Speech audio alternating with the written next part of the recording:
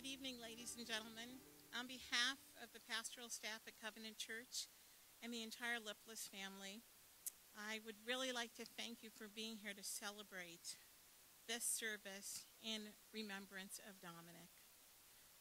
I would specifically like to thank Central Bucks School District and West in particular and their staff for their gracious generosity in so many ways in allowing this service to take place here tonight. Before we begin our service, just a couple of things to inform you of. Out in the uh, lobby area, we have a couple of video booths that have been set up for you to share a memory of Dominic, maybe an event or um, a funny story. Um, certainly something to do with poop would be okay. Um, but two video booths for you to um, use at your leisure. Uh, also in the cafeteria tonight, we have three or four classrooms where this is also being live streamed that are full, and the cafeteria that is full where it's also being live streamed. So we are just um, here to celebrate together as a community and to honor this family in this way. Before we get started tonight, I, I wanted to um, just find out who was here with us this evening. So I'm going to mention a couple of different groups. And as I mention your group, if you would stand for just a moment so we can see who you are, and then be seated and we'll go on so that we know who's in this room tonight. So, the first and most important group, um, the extended lipless family. If you are here as a relative of Ken or Kara, um, would you stand so that we know who you are?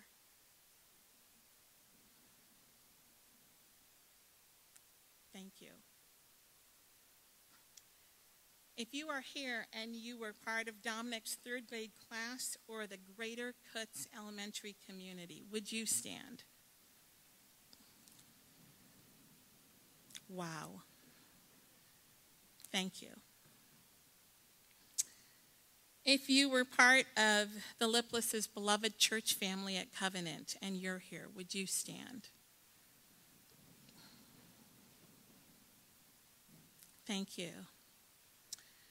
If you were part of any one of the teams of people who provided rides or mowed lawns or did grocery shopping, or if you are the anonymous person who put the shutter back on their home after the last storm, any of those ways that helped to make life carry on for them as they um, were with Dominic through all of this, would you stand?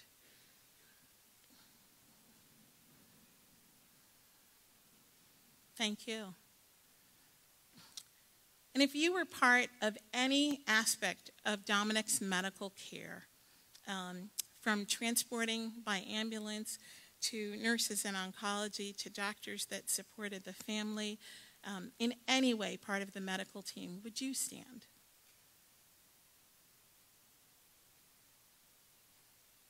Thank you. And last but absolutely not least, if you are here because you were swept up by the Pray for Dominic movement that took over our community because of the life and faith of this young man, would you stand?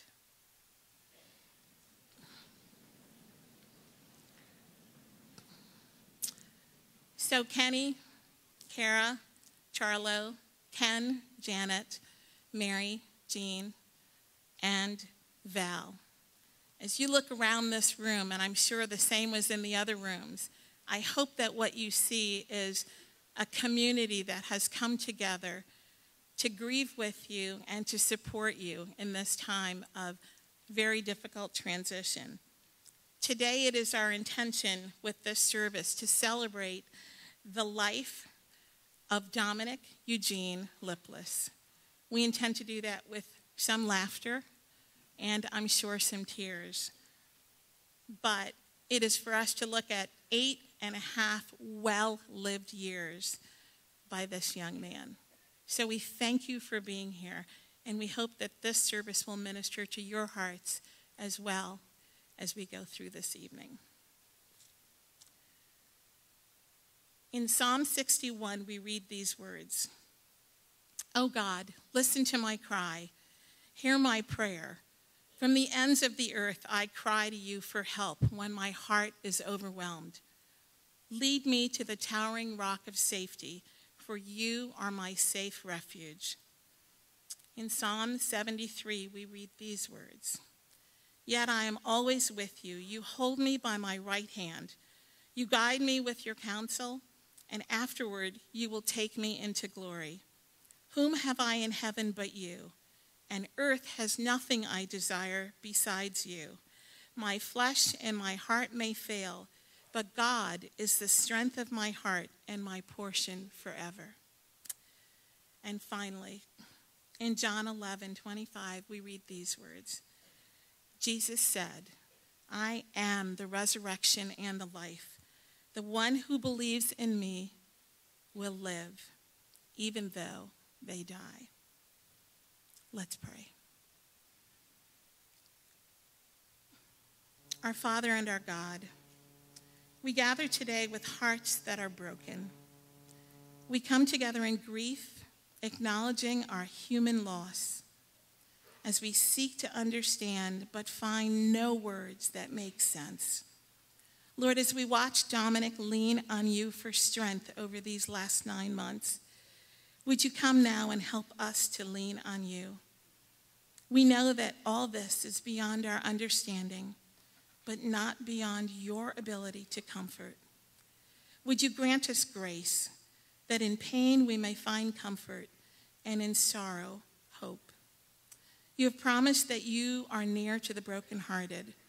So we ask, Father, that your arms would enfold us all and that we would sense your peaceful presence in these days and in the weeks ahead. Particularly, Lord, we pray for Ken, Kara, and Charlo. May they find comfort as they remember the happy memories they shared with Dominic. Lord Jesus, help us to be forever changed by the example of Dominic's trust and faith in you. May this service plant seeds of faith and hope in the lives of all who see it. And in the days ahead, Lord, we pray that those seeds would grow, drawing many into a relationship with the Lord and Savior, Jesus Christ, whom Dominic loved so much. Bring comfort and bring peace to our hearts, Lord. In your name we pray. Amen. We're going to invite you to stand with us now as our praise team leads us.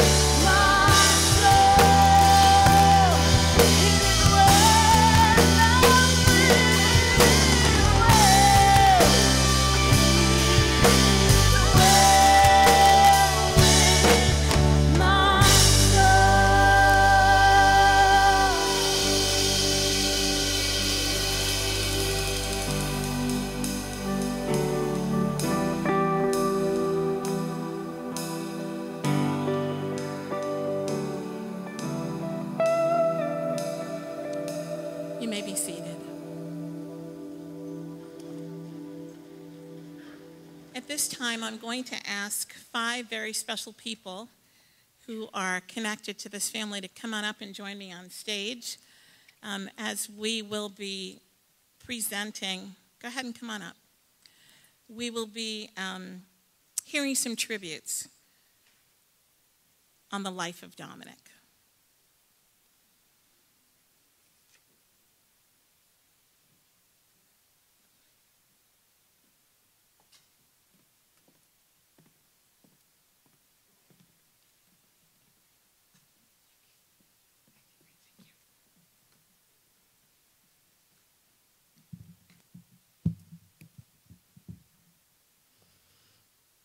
Good evening.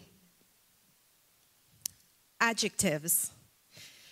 We use them each and every day to describe places, things, and people.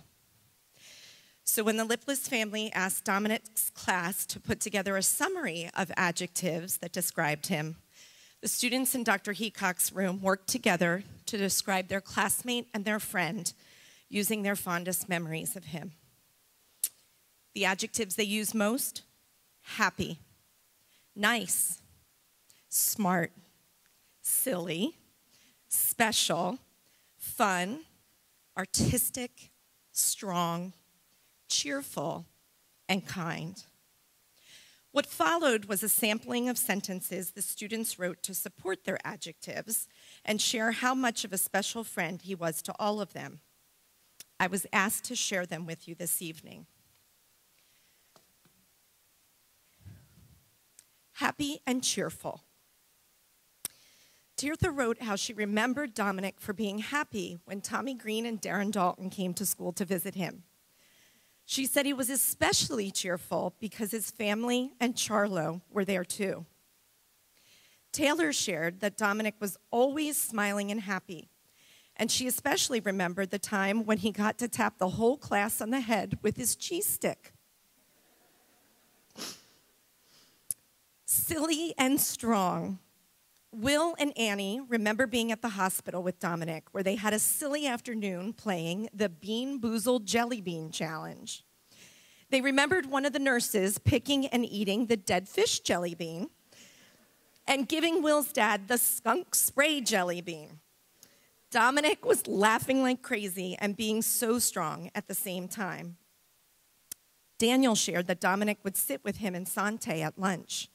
They would tell each other crazy jokes and make him laugh. He said Dominic made lunchtime fun for him. They would talk, laugh, and have a good time together. Abby thought Dominic was hilarious and remembered a time they were at the beach together.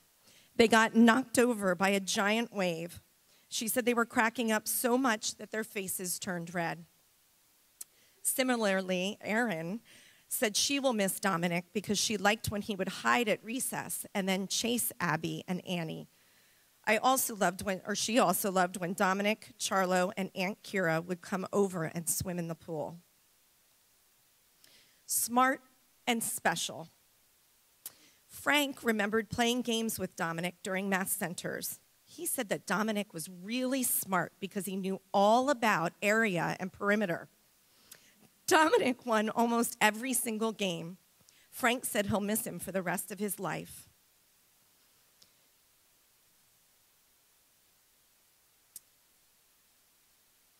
Chase remembers Dominic for being special because he had a lot of friends. He also thought he was funny and smart. He said they played Connect Four together on Free Time Friday and remembered that Dominic beat him four times in a row.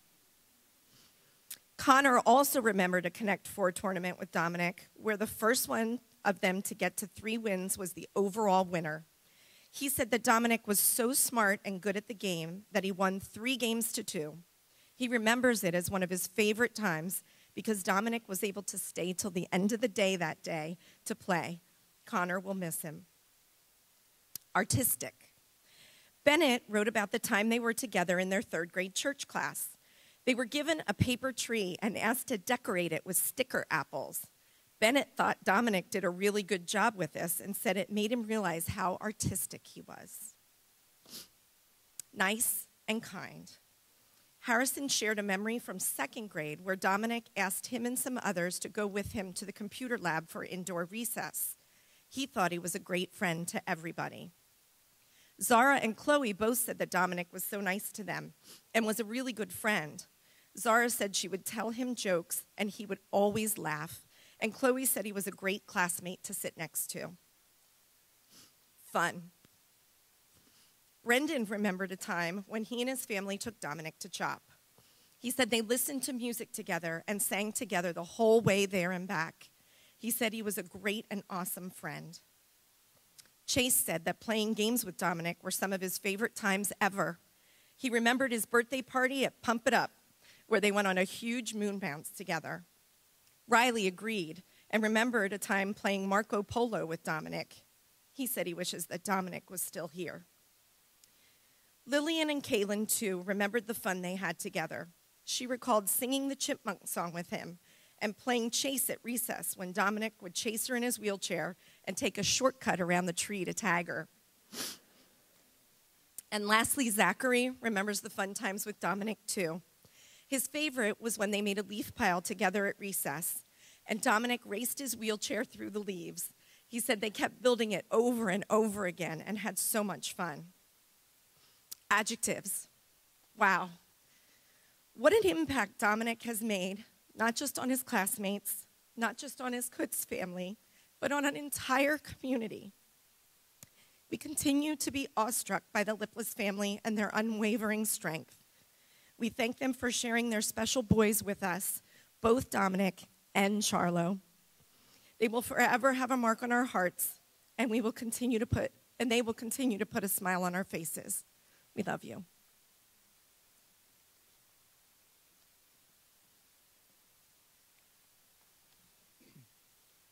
Walking with Dominic. God's word in Psalm 127:3 says that children are a heritage of the Lord. My wife and I have been blessed with a wonderful family, including Olivia, my favorite granddaughter, Stephen, my favorite oldest grandson, okay, Dominic, my favorite second oldest grandson, and Charlo, my favorite youngest grandson. Because he lives only four miles from our home, I've had many opportunities to go walking with Dominic. Not too long ago, Dominic and I were going to church by way of the Neshaminy Manor Nursing Home. We were going to pick up a family friend and take her to church with us.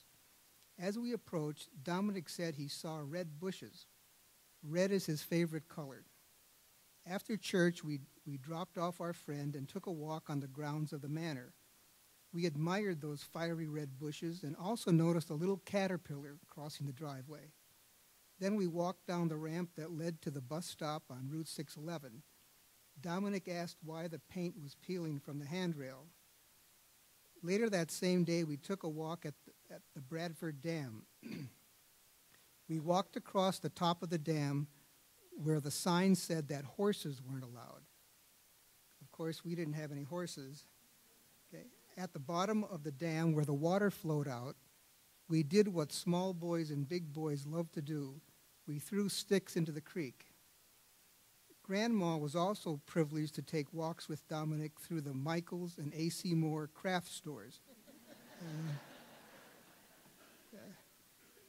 Dominic would carefully and methodically search for an interesting craft to bring back to Grandma's where they would work on it together. These experiences were probably the foundation of Dominic's love of art in general and Legos in particular. In March of this year, Dominic started a walk that no one would ever want for him or anyone else. However, there was and continues to be a tremendous flow of love and support in this walk from family, friends, church, school, community, businesses, sports organizations, and foundations. Expressions of encouragement, both tangible and intangible, have been coming in from near and far places.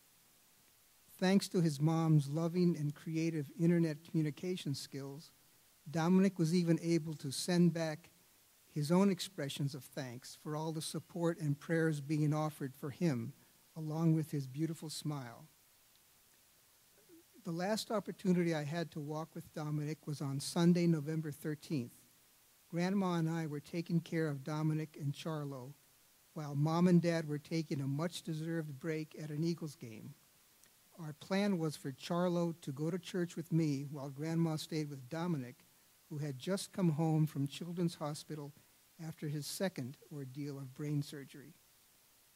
As Charlo and I were leaving, Dominic began to cry and said that he got dressed so he could go to church.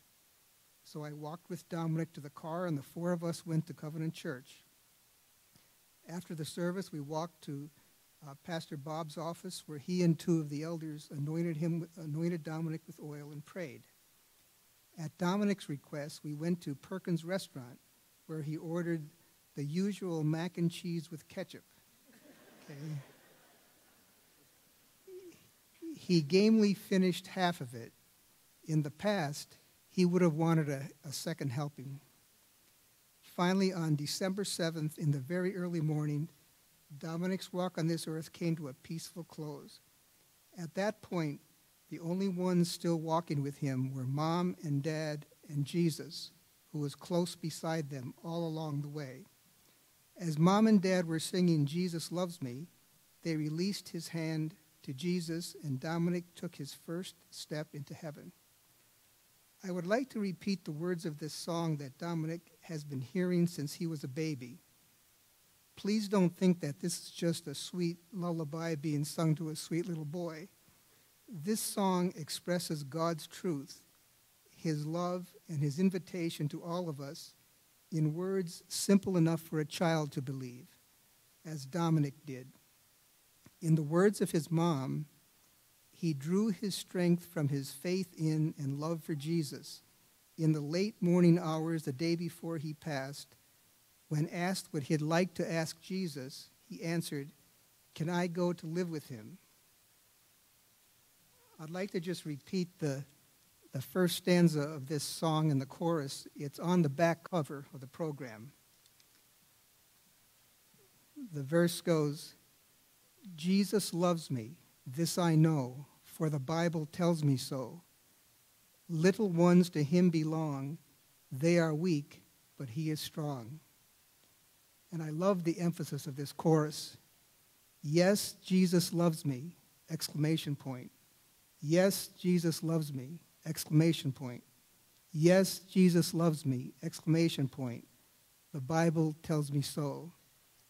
Right now, this very moment, Dominic is experiencing the reality expressed in 2, in 2 Corinthians 5.8, which says, We are confident, yes, well pleased, rather to be absent from the body and to be present with the Lord.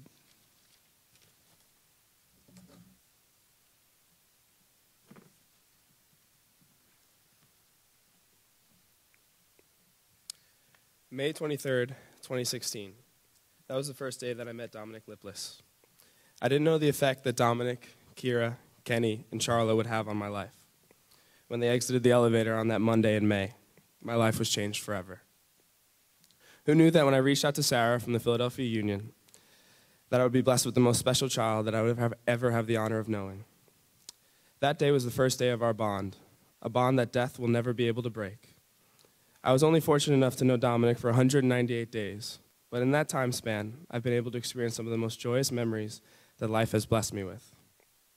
From getting to see Dominic ring his bell to celebrate completion of his radiation treatments, to being a witness at Dominic's baptism, to sitting with him at the Union Games, and the ultimate honor when he, Kira, Kenny, and Charlo came to watch me play on the Bethlehem Steel. I was able to visit Dominic at chemo and eventually the PICU, and learning how much of a master Lego engineer he is with actually one hand. And I'm 23 years old, and I felt like I was slowing him down just by being there. I selfishly want nothing more than to be able to spend one more last time doing whatever his heart desires. But spending more and more time with Dominic, I realized the true beauty of his nature and his will. The way he would sing in color during chemo without a complaint would leave me awestruck. That an eight year old boy battling cancer only cared if the chipmunk, chipmunk song was playing and that no matter what time arrived, me and Mr. Logan, as long as we had gummies, everything was going to be okay. Dominic showed me to have faith faith in the face of so much adversity, regardless of the situation. Everything Dominic did, he approached with love, strength, and courage. His poise and calm nature is unmatched, and his selflessness, I've never met anyone like him. I've never heard such heartbreaking words, such breathtaking words come from such a, someone so young that it leaves me only to believe that his soul was truly touched by the Lord. That Dominic was truly an old soul.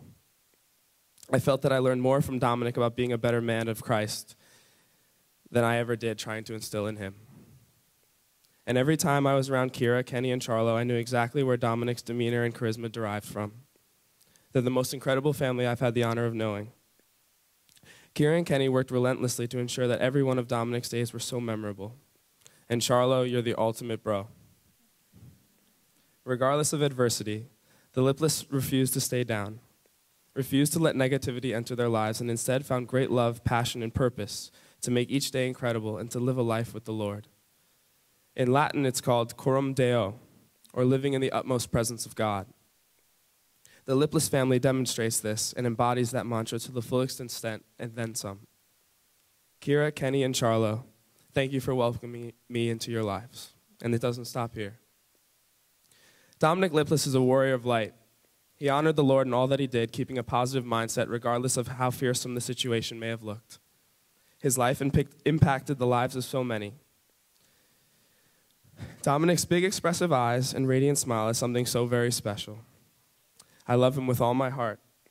And if you had the honor of meeting Dominic, you know the, that no words that I say can describe the greatness that embodies him. My life will never be the same because he changed me. I truly believe that a part of me came alive that day. Now, for the rest of my days, I know an, I have an angel on my side, fearlessly guiding me into anything and everything the good Lord desires. The light that has graced this earth for eight and a half years, and I know he would want me to say eight and a half shines ever more brightly within the gates of heaven and down upon us. He is living with Jesus just as he desired. He will live within my heart forever.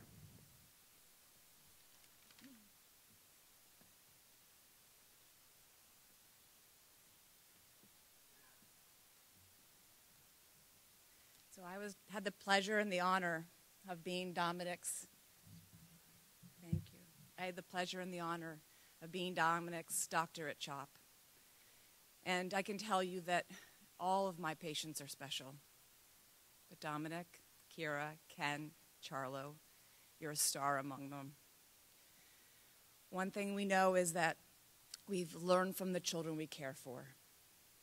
What Dominic showed us is incredible love. He shared with us incredible happiness and joy. He inspired us. He showed us great faith and incredible strength of character. To share with you some of the joy I saw in him when I got the opportunity to see him almost weekly in the hospital is, as you know, Dominic loved sounds of farts and poops, and I thought that we would hear a few of those. And so you can imagine that you've all gone to see your pediatrician and your doctor, and you're in the clinic. And I've said, Dominic, open your mouth so I can take a look in the back. And uh, he'd open up and then there'd be a poop sound. Or he would, I'd listen to his heart and he would make a, a heartbeat as a poop sound. So great joy. Handfuls of candy as he came to clinic. Dr. Cole, would you like some candy? I'd say, that's okay. I'm going to have my lunch in a few minutes. So he really demonstrated us great joy and laughter. He was the one boy when nobody else in the ICU and the pediatric ICU could be in the playroom. Dominic was in the playroom enjoying being with the child life specialist, doing his crafts, showing us all the artwork that he made. So even during times of great uh, hardness, Dominic showed us love, showed us joy, and showed us really what it means to be a child who is brave and loving going through cancer therapy.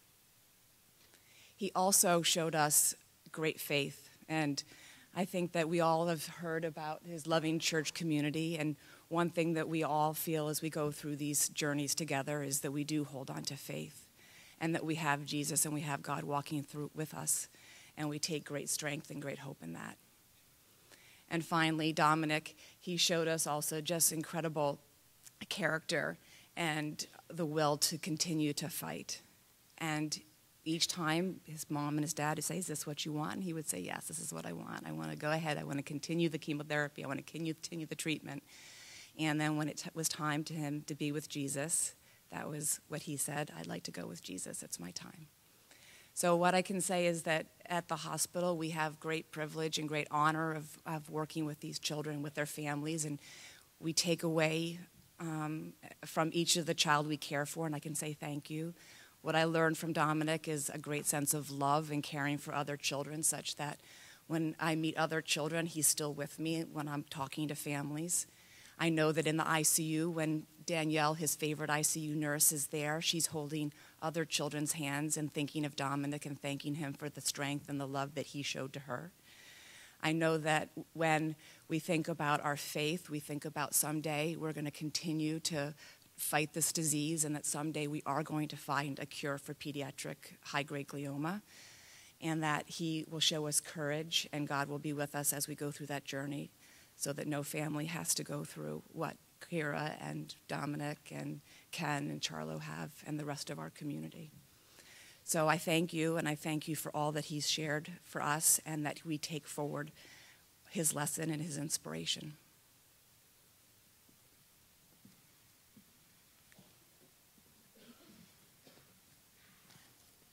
Hello. I was lucky enough to build a very strong connection with Dominic. And when Kira called me and told me that it was time to say goodbye to him, I decided to write him a letter, which I had the opportunity to read to him at his bedside. So Kira and Kenny asked me if I could read it here today. Before I do, I just want to thank Kira, Kenny, and Charlo. I know I speak for every person in this room. We all thank you. Thank you for allowing us to love Dominic. You have showed us an example of love with grace and dignity in the way that you have loved and fought for him. And thank you for creating and raising this amazing child for us to rally behind. We have come together and walked through this journey with you. And I just want to assure you that we will continue to carry you and lift you through this dark time and help you to find some peace. We will never forget your angel.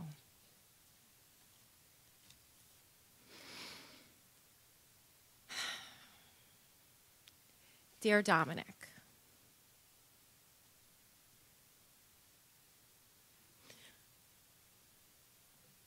I just want to tell you what you have brought to my life these past few months. You are the true definition of a hero and a champion. I have learned so much for you, from you, and I will carry that forever.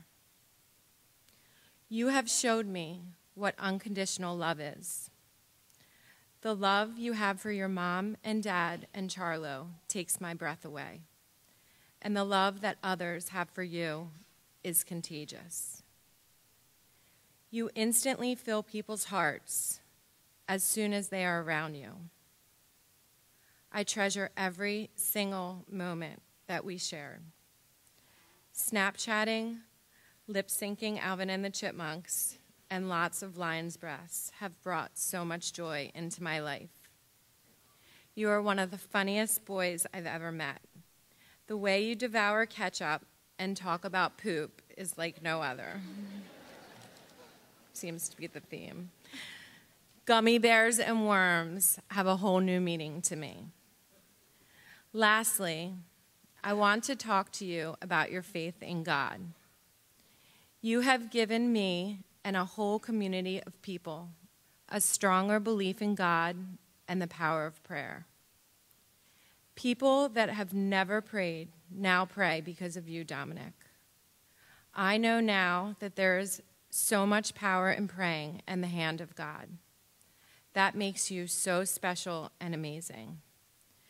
Your strength has been so inspiring, and I only hope that my son grows up to be as loving, faithful, and courageous as you are. Thank you for sharing your beautiful self with me. I will always treasure you. I love you so much. Love always, Sasha.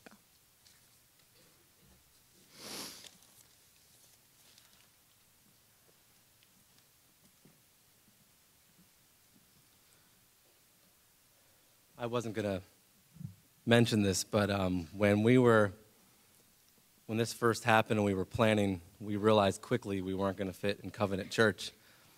And the talk was Central Bucks West, Central Bucks South, or Central Bucks East. And I'm so happy we're in Central Bucks West. I wasn't going to make a complaint. I wasn't going to complain. If we were South, I'm okay with that because that didn't exist in 1994 when I graduated here. But if East was chosen, I was going to potentially figure out something different.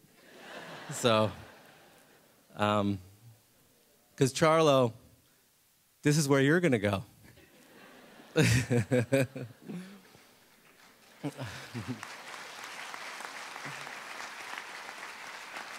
and um, a lot of, I, I'm sure there's, how many people graduated West? Just, or how many people are going to be going the West?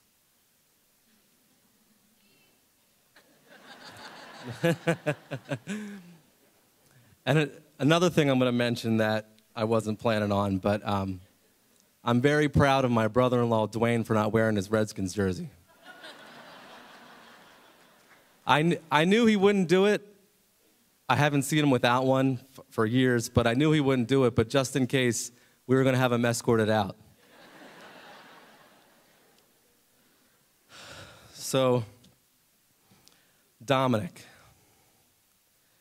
we found out at a very early age how much Dominic loved music.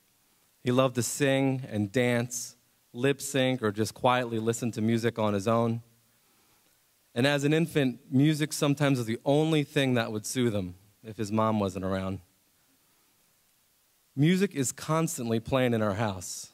Dominic had a sweet voice, and that was on pitch. He was absolutely beaming and proud when he listened to the Super Dominic song which was written by our friends Katie and Steve.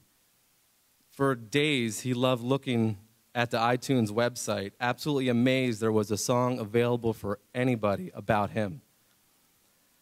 Music played on the way to the hospital, during chemotherapy, radiation treatments, or relaxing on the couch. When Dominic was a toddler, kiddie music was frequently played at my home. As a preschool director, kiddie songs are on loop at my job. So when Dominic was about three or so, I began immersing him in Kira and my, and my favorite bands and songwriters. He began memorizing the lyrics and singing along to some of our favorite songs. Dominic impressed us with his memory and recall of the songs, but he really surprised me at how closely he would listen to the lyrics. Together, we would have very in depth discussions about lyrics and their meaning. I remember him asking me about one song in particular when he was in preschool. The song is called Head Full of Doubt, Road Full of Promise by the Avett Brothers. The lyrics are There's a darkness upon me, it's flooded in light. In the fine print, they tell me what's wrong and what's right. It comes in black, and it comes in white, and I'm frightened by those who don't see it. I remember him asking me, What's a darkness flooded in light mean? I gave him a simple explanation, telling him that there's a lot of sad and dark things that can be brightened by light and happiness. I figured that would do for a four year old. The song has been in my head since Wednesday. I think a better interpretation of this powerfully real song would be beneficial to me and, and all of us. And God has given me unexplainable comfort in my pain and loss.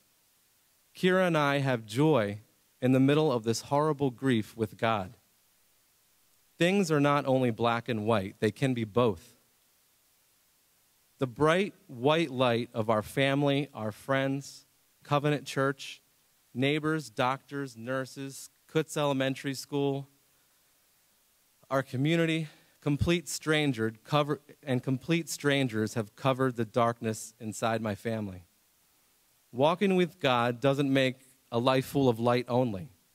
As the song says, it comes in black, it comes in white, and I'm frightened by those who don't see it. However, walking with God gives me hope that my Lord is here with my family to take all this pain away.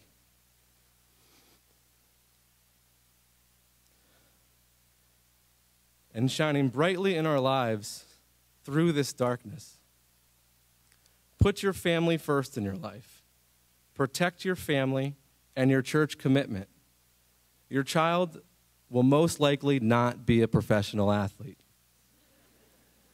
Do not spend all of your precious family time at the pool or on the field, at the ski slopes, in a gym, or in a studio. This is not family quality time. There needs to be moderation and balance. If the soccer game is during a family party, skip the game. If the swim tournament takes the entire weekend away from the rest of your family, don't go. But your child will be a mother, will be a father, a brother, a sister, an uncle, an aunt, and a friend. Teach them to be successful in their relationships. Show them through example that God should be first in our lives and our family second. In that order, always. Don't let anything wedge its way between God and your family. And during this Christmas season, remember that Jesus is the light. He is a free gift to anyone. Just ask Him, just like Dominic asked.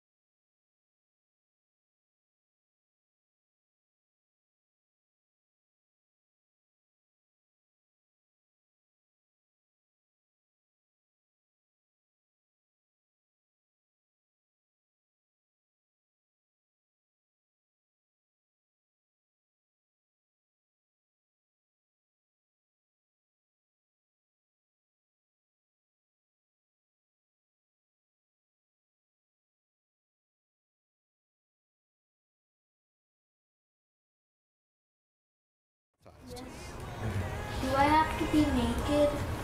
Um, do I have to be dumb? And um, do I have to stand there for over 10 minutes? I had the opportunity to ask Dominic, how many people are praying for you? Okay, that's a really hard question. Dominic, yeah. are, Dominic, are even wild?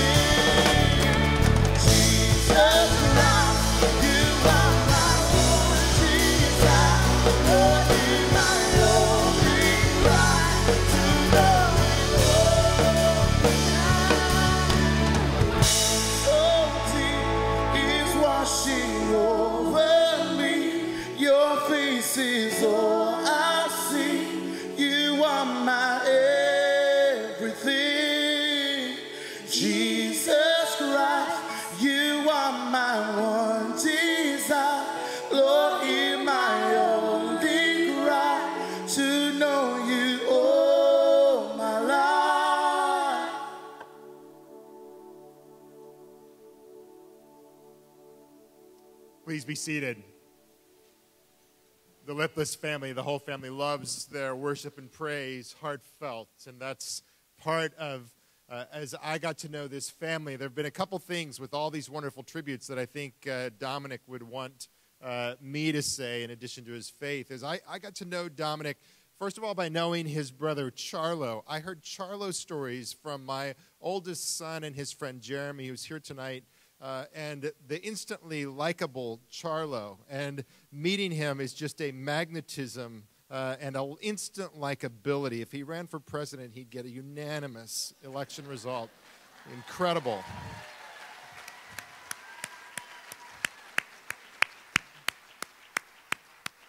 So then, really, I got to know some of the rest of the family and Dominic. And visiting Dominic early uh, in his battle, I asked Dominic why he was so anxious to get home, and he said, Because I need to torture Charlo. and it's amazing that you can love two people like that because Charlo also loved to be tortured by his brother Dominic, and that combination, such a beautiful thing. Um, the other thing that wasn't mentioned about Dominic uh, that I think he would have wanted to mention was that he was the YMWCA uh, sharpshooter. He is a baller. He knows how to play, handle the ball, um, and he's an athlete. Uh, but I'm here to talk about how faith and his faith was very real. What God has done in our church in Doylestown uh, with the 20,000 people who follow, uh, I think, the most eloquent social media writing that I've ever read uh, by Kira. Um, 20,000 people sometimes read those and respond, many, many more. Um, what is motivated, what God has done is He's put an example of walking with real faith, with the reality of Jesus Christ right in front of us. And I think one of the dangers for us, if there is any danger that we might miss the reality of this, is because it is faith in a child. And so I want to read what Jesus had to say about scriptures. And then I want to draw forth just four quick lessons that I want to make sure we don't miss about the faith walk of Dominic Lipless. Uh, Jesus said in Matthew 19, one day parents were bringing their children to Jesus so he could lay hands on them and pray for them. But the disciples scolded the parents for bothering him. And Jesus said, Let the children come to me. Don't stop them. For the kingdom of heaven belongs to those who are like these children. And he placed his hands on their heads and blessed them before he left. About that time, the disciples came to Jesus and asked, Who is greatest in the kingdom of heaven? And Jesus called a little child to him and put the child among them. And then he said, I tell you the truth, unless you turn from your sins and become like little children, you will never get into the kingdom of heaven. So anyone who becomes as humble as this little child is the greatest in the kingdom of heaven. He went on to say, if anyone causes one of these little ones who trust in me to fall into sin, it would be better to have a large millstone tied around his neck and drowned in the depths of the sea. And then he ended his discussion about the importance of children, saying, Beware that you don't look down on any of these little ones. For I tell you that in heaven their angels are always in the presence of my heavenly Father. I think those words help correct any idea that we might discount the reality of the faith walk of Dominic because he's a child. And I want to draw four things that I think God would accentuate to all of us who have been touched deeply by Dominic's walk of faith. Um, C.S. Lewis said that pain is God's megaphone to rouse a deaf world. And I think there's four things that um, Dominic's pain, coupled with Dominic's faith walk, uh, roused us to see. And the first one, Dominic's life acts as a megaphone to show that the most important thing in life, in the life of all of our children, for those who are parents, is that they know the hope of Jesus Christ. Uh, a, a Catholic teacher uh, said this He said, When a child is given to his parents, a crown is made for that child in heaven, And woe to the parents who raise a child without consciousness of that eternal crown. And Ken and Kira, you have raised your children with a consciousness of their eternal crown. And I believe Jesus says to you, Well done for that. Uh, Dominic had such a thirst to be baptized. Uh, when he had to miss the first baptism, he was so eager. Uh, Kira had talked to him about being, we could arrange a baptism at the hospital. We would move there. But he was very anxious that it be seen that his faith in Jesus Christ was both personal and it was public. And there are a lot of people who have uh, lived on earth for 80 years and had less consequential lives in expressing the reality of their personal faith in a public matter. It's not the duration, but it's the depth of a life. And Dominic's life, because of his faith in Jesus Christ, had great depth and great impact. Again, I think pain is a megaphone to remind us what really is important is in knowing the God who made us, who loved us, who redeems us, and who has eternity before us. The second thing I think that Dominic's life reinforces that I hope we don't miss is that pain is God's megaphone to wake us up to get real with God. Dominic didn't know any fakeness. And I think that's part of what Jesus says. If you uh, want to come into God's kingdom, he says, you've got to turn from your sins and become like little children. He says, unless you become as humble as this little child, you can't enter into the kingdom of heaven. You know, this is not Jesus sentimentalizing or romanticizing children, because in, in Luke 7, he actually criticized the fact that children can be peevish and, and can say, well, we want to play this game, and no, we want to play this game, and they can argue and, and insist on their own way. So he's not saying that children are faultless, but he's saying there's one aspect of children that is necessary for entering the kingdom of heaven, and that is a childlike humility. And it's not the, a, a, any deficit of intelligence, but it's a lack of guile, a lack of an agenda. Uh, it's what children possess that we adults lose. It's that precious fleeting time before we've accumulated enough pride or position to care what other people may think. And that same unself conscious honesty that enabled Dominic to be um, such a, a straight um, shooter. Uh, this is, is what makes uh, a child so refreshing. You know, um, thinking of Dominic, if, if you're in a room of adults and somebody farts, people are just polite and no one says anything. But childlike honesty, and in someone like Dominic, would take delight to honestly point it out and wonder who accomplished that masterpiece. There's a, there's a realism to that. There's a spiritual honesty if that's translated over to life. Um, I think of Dominic in the, the Despicable Me movie with the minions, and the, there's a great fart joke in there uh, where one of them uh, asks that, uh, for a, a dart gun, and it's misunderstood, and they bring out the fart gun. And, and disgruntled, he says, Well, I was wondering under what circumstances would we use a fart gun? But I make all that simply to say that the beauty of being able to talk about Jesus and spiritual reality and suffering, and in the next breath, being able to talk about passing gas, there's something that without that, without that kind of honesty and real grit and authenticity, you can't become a child of God. The, the reality is, we're, no matter how sophisticated we may appear to be, we're all just grown up children. And we want to mask the simple and weak and vulnerable origin, but we're never more than weak and vulnerable. And receiving Christ means we acknowledge our weakness and vulnerability and we throw away the masquerade of our self sufficiency. A childlike trust, a childlike dependency. Christ turns the telescope around. I love how it says, Jesus says, uh, these little ones have angels in heaven who continually behold the face of the Father in heaven. You know, all the other angels, and many of them are guardian angels, we don't know all about their life, but they, they cover their eyes because the splendor of God is not something they're allowed to look upon. But he says the angels who represent children, he says they have unveiled eye to eye contact with God the Father. And I believe that text tells us that these angels have that privilege not because they are so important, but because children are so important to the kingdom of God. That's why Jesus says one of the worst sins that can happen is the exploitation of children. He says that that is deserves a millstone necklace.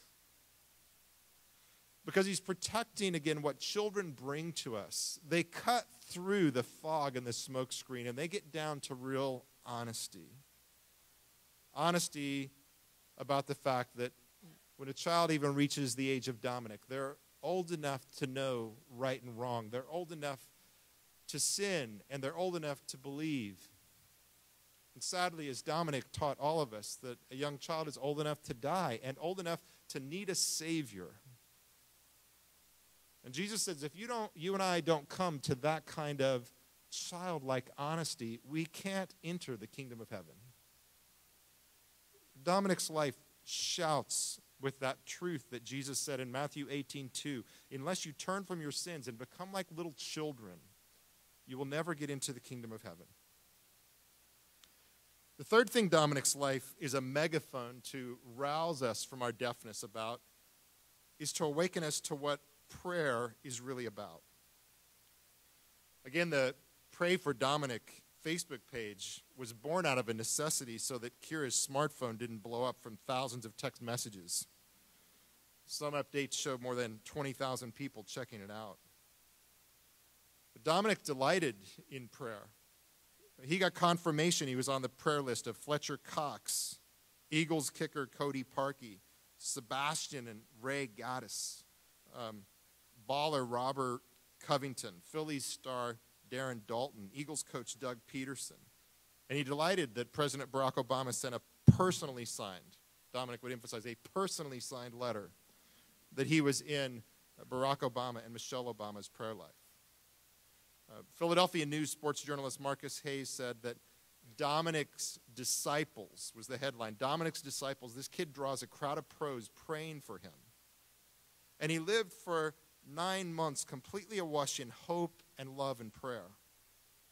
So, with all that protection, even angelic protection, all of that prayer, the question may say is, is any of it prevail? Is any of it powerful? And I remember sitting in the living room with Kira and Ken and asking, saying that question might be on people's minds.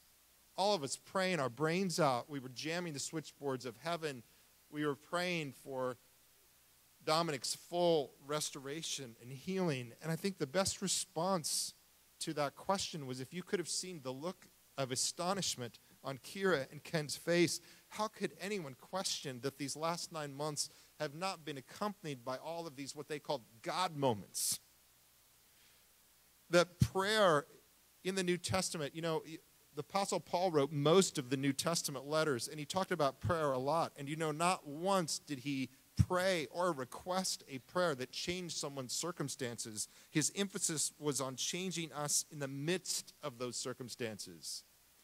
So that wherever uh, a believer in Jesus is experiencing difficulty or trial, they might be a living testimony to the difference that Jesus makes, that he makes that life a, a moving tabernacle of the presence of God.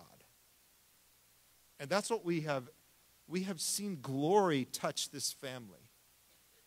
And it has been in part because of the prayers of so many that have caused God to, to touch this family. And so this has been a time where the megaphone of pain has reminded us that prayer is ultimately not a, a slot machine that we put coins in hoping to get a return, but prayer is about communion with the God who loves us and who wants us to walk with him and know him.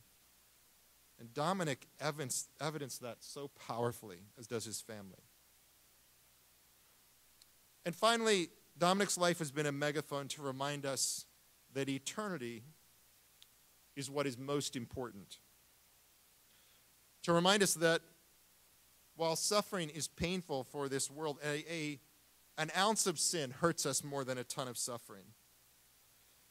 And suffering ultimately doesn't harm who we essentially are.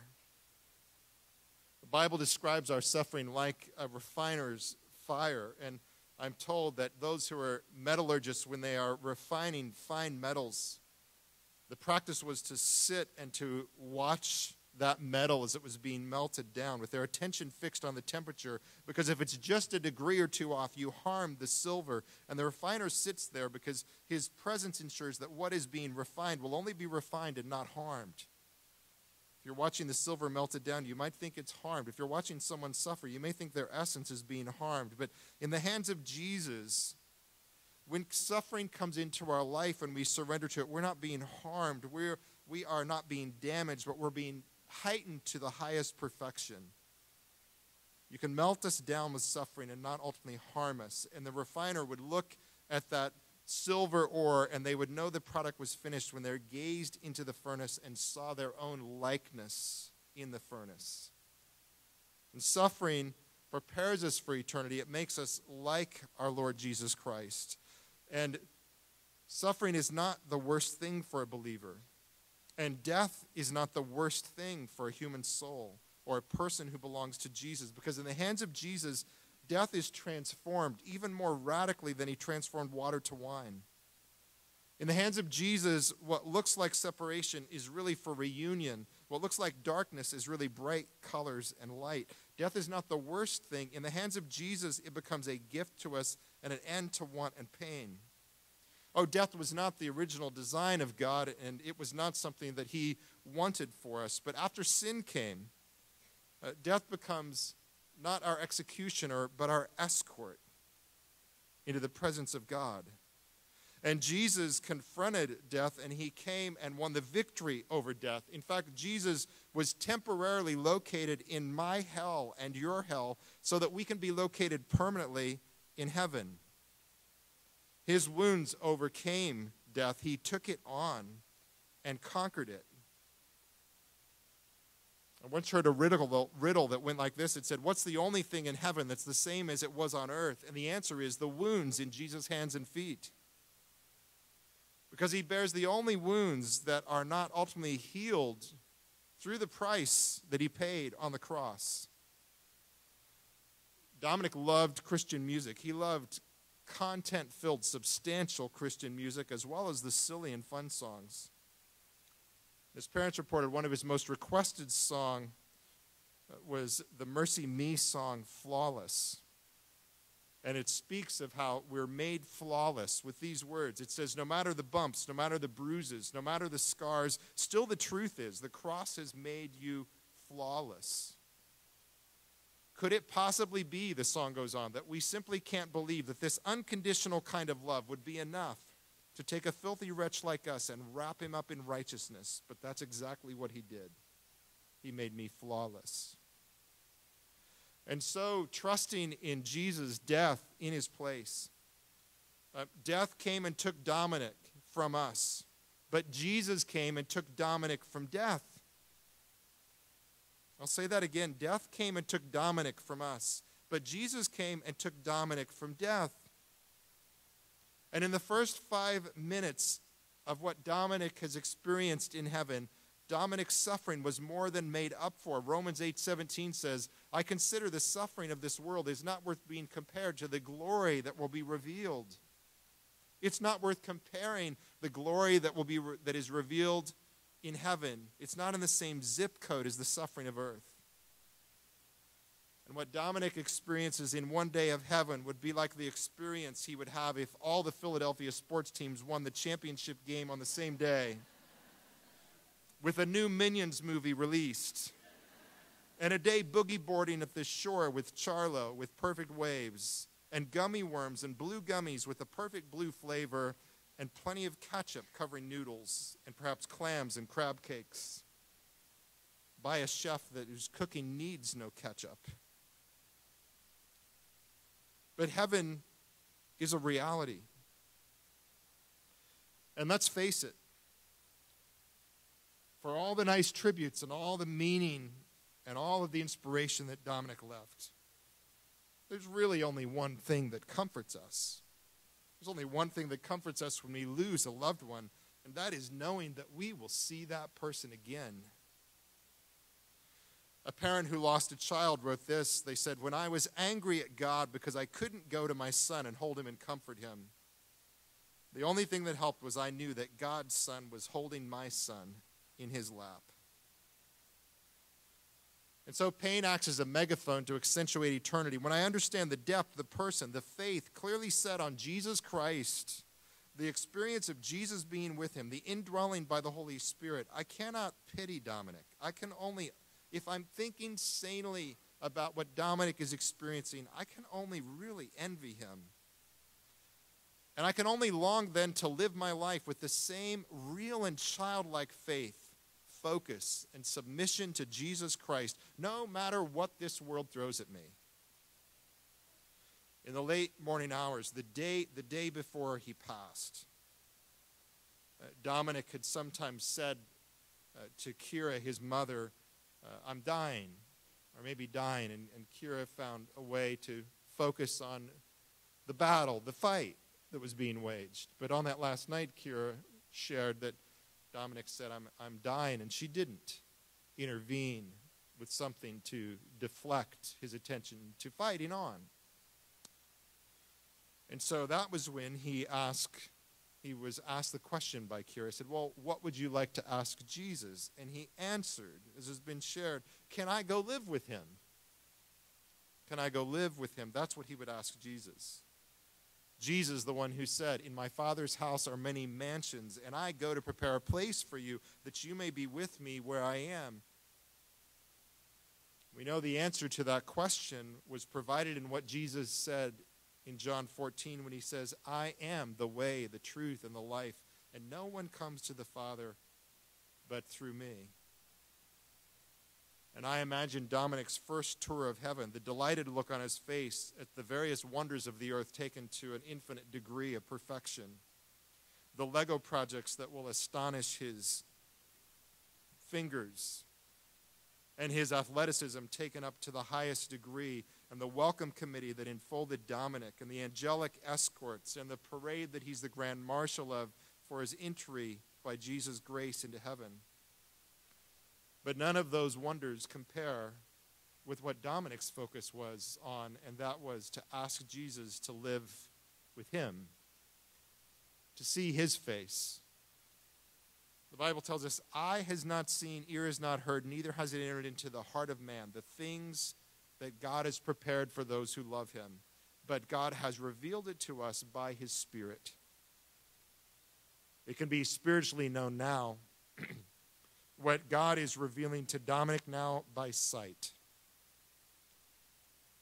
And so, pain is God's megaphone to us to rouse us from our deafness to these things that are realities and available for all of us. The reality of Jesus' presence, his, his love, and his purpose that he offers us, and then ultimately an eternity that will be suffering and trial free. We're going to close this part of the service by singing together, Jesus Loves Me. And one of the stanzas, there are so many stanzas of this to sing, but one of them says, Jesus loves me, and he loves me still. When I'm weak and very ill, when it comes for me to die, he will take me home on high. Let's uh, stand and sing our hearts. Uh, with triumph and faith and focus this song that declares the truth, that fortifies us uh, to live our lives as Dominic did.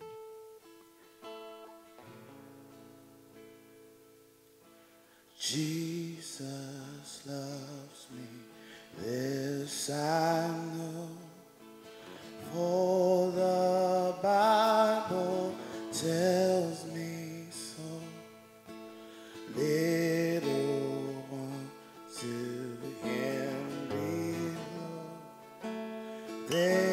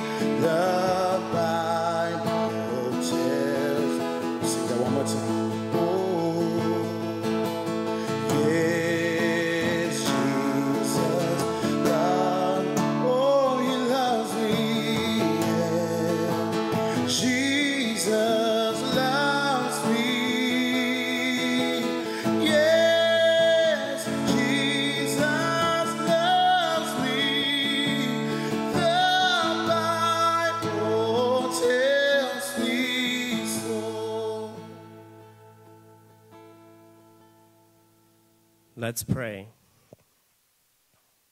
Dear Father God, out of everyone and anyone, you know how much death sucks.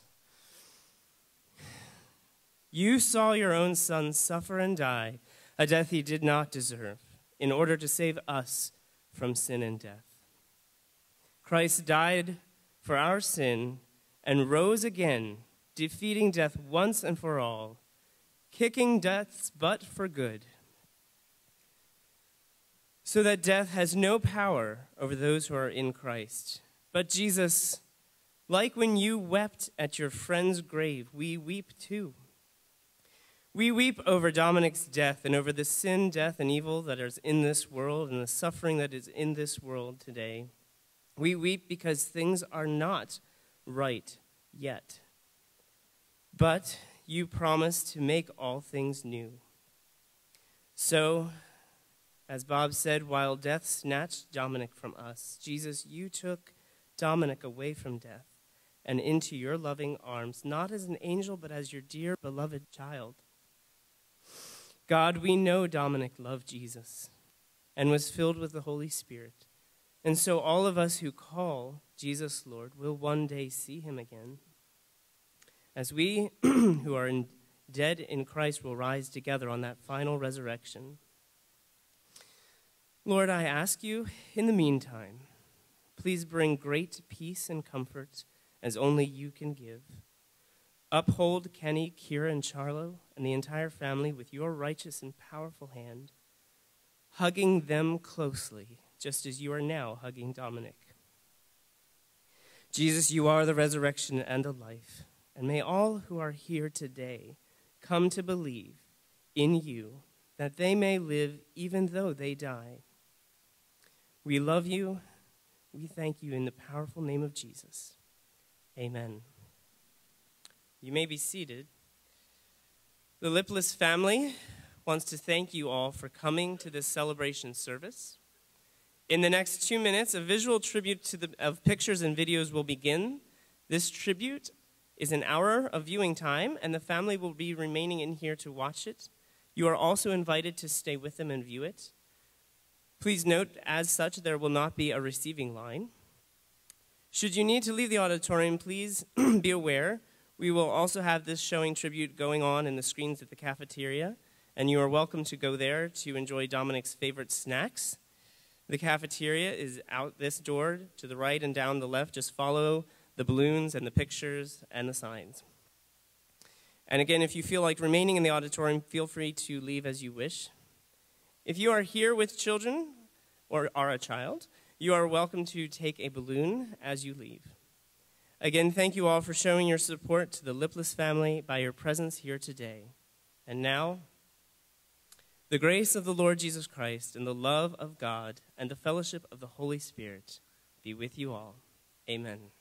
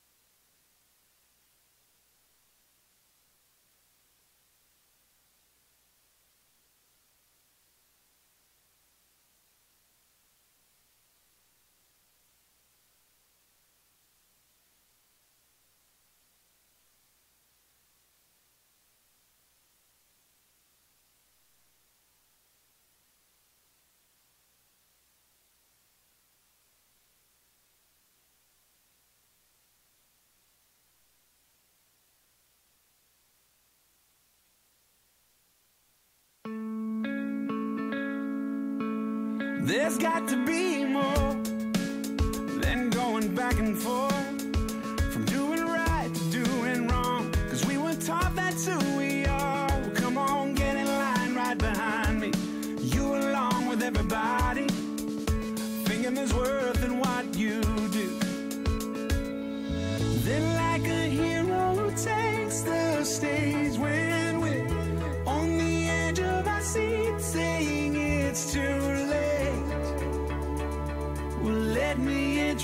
you to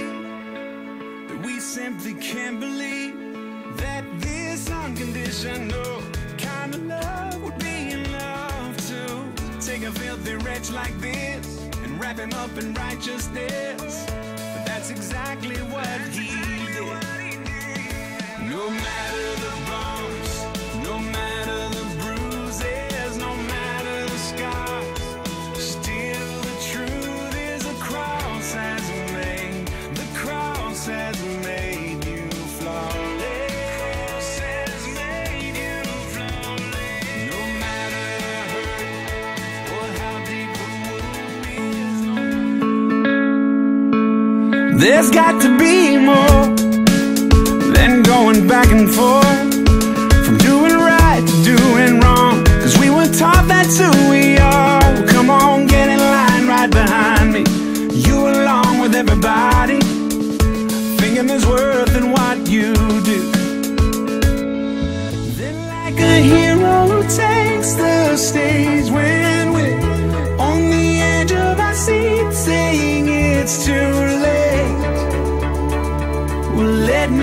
introduce you to me.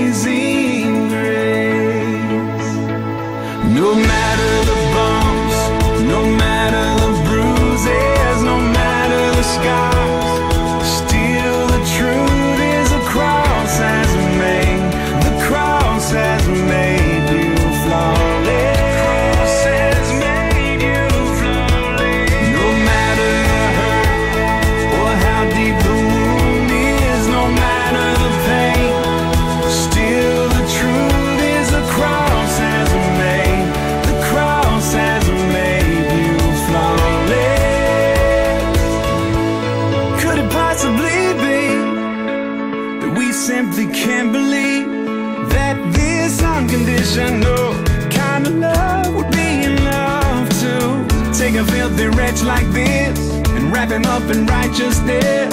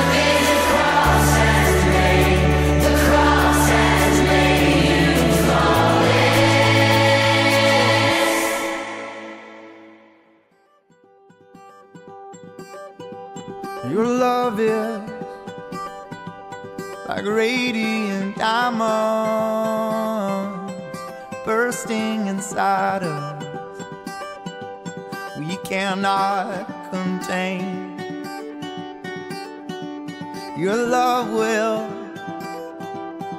surely come find us like blazing wildfire, singing your name, God of mercy.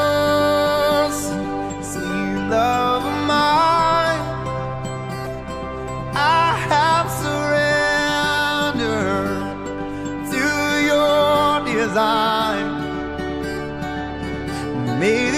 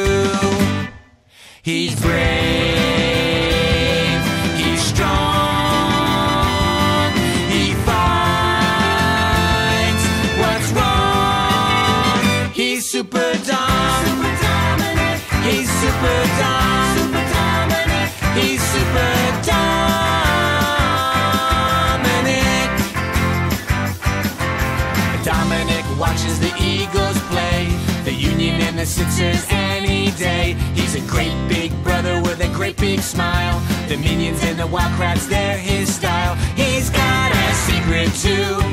He's got superpowers, yeah, it's true. He's brave, he's strong, he fights what's wrong. He's what you gonna do? All right, let's see you go. Oh. Thumbs up. there might be times when he is feeling scared, but his super mom and super dad and super brother, they'll all be there.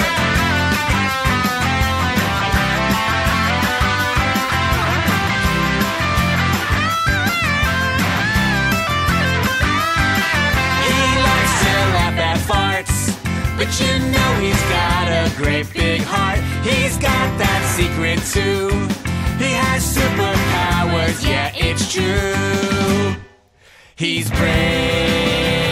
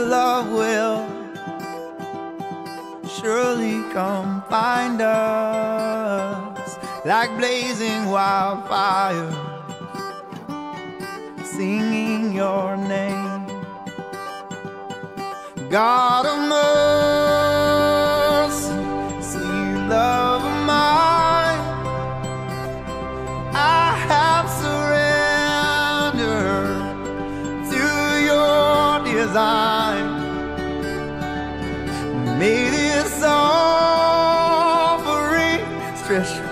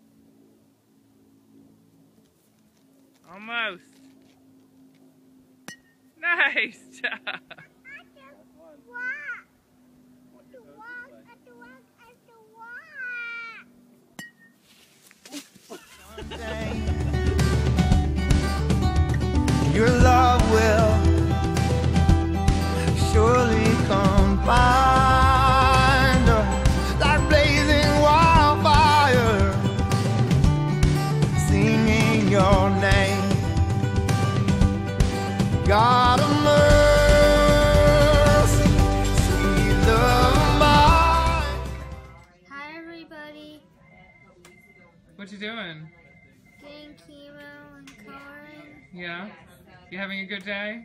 Yeah. Yeah? You missed school? Mhm. Have a great day, everybody.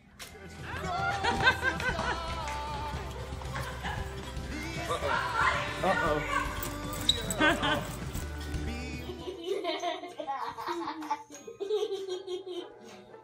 Really? Yeah. It flipped backwards, and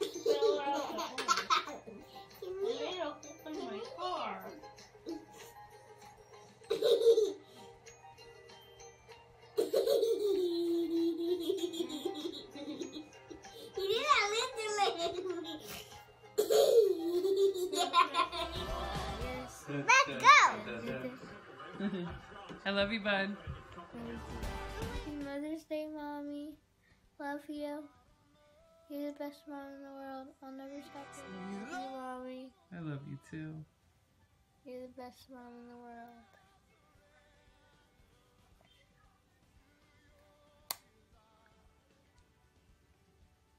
Love you, Mom. I love you too. I'll never stop loving you. I'll never stop loving you either. Hmm.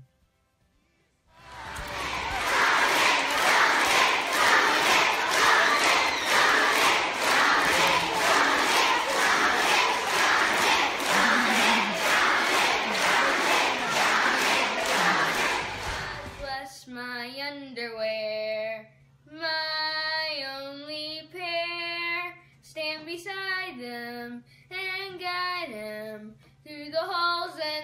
rips and the tears. To the washer, to the dryer, to the clothesline, to my rear. God bless my underwear, my only pair. God bless my underwear, or I'll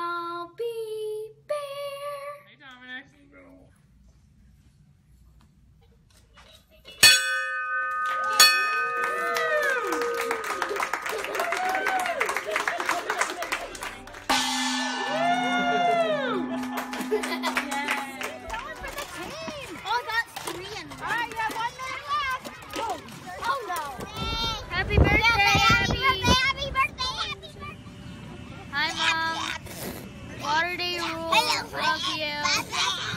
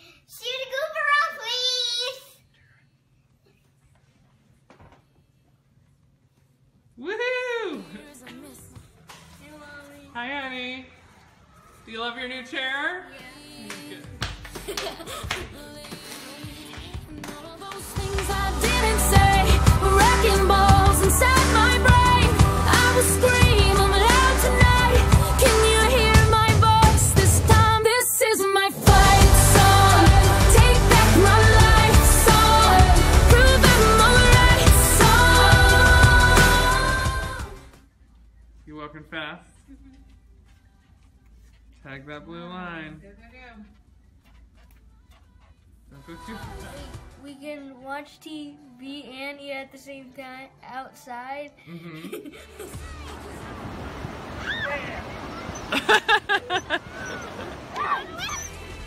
Get a weirdo. Say Siri. Siri, Siri, what? Say, my nose hurts. My nose hurts really bad. my nose hurts really bad. All you do is flick the pen backwards. So you go like this. Like that, but look from the front. See how it looks like it disappeared, but it's right there. Oh, the key is in the lid. The key is that if you take the lid, the lid disappears in the pen, but it's behind the elbow. And then that's when the whole pen disappears. Because the pen's in my ear. Now I'll do it again. If you, well, if you take yeah, if you take if you take the pen and the lid, watch. That's when the lid goes. Because the lid's in the ear. the lid's in the ear right there. Awesome. Hey, thanks for coming out here, guys. Come back Yay! Dominic, was that fun? Thumbs up.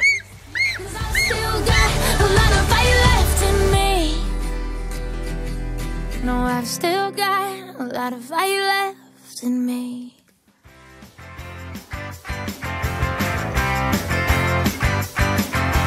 I know a boy who lives nearby. He loves to swim and play outside. He's kind, he's smart and friendly too. He's a really great kid, just like you. He's got a secret too. He has superpowers, yeah, it's true. He's brave,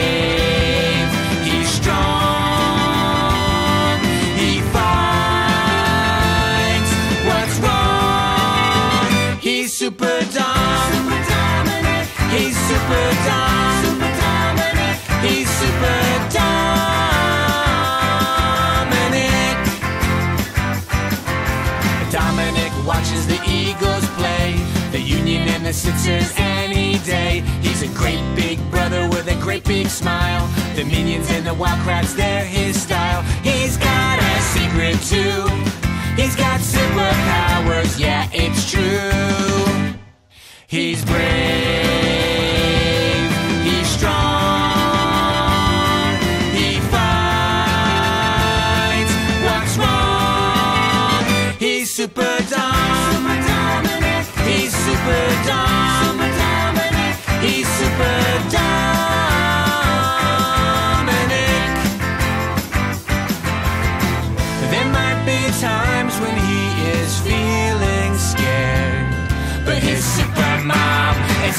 dad and super brother, they'll all be there.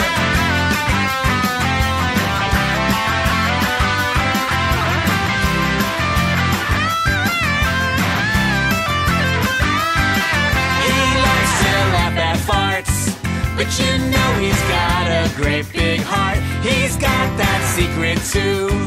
He has superpowers, yeah, it's true. He's brave,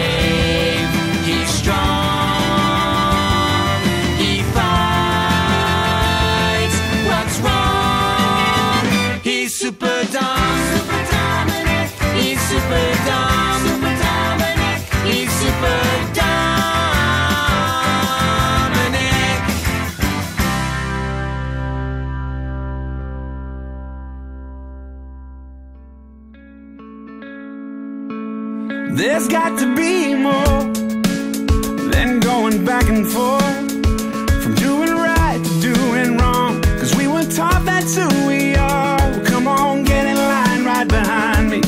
You along with everybody, thinking there's worth in what you do. Then, like a hero who takes the stage when we're on the edge of our seat, saying it's too late. Let me introduce you to amazing grace. No matter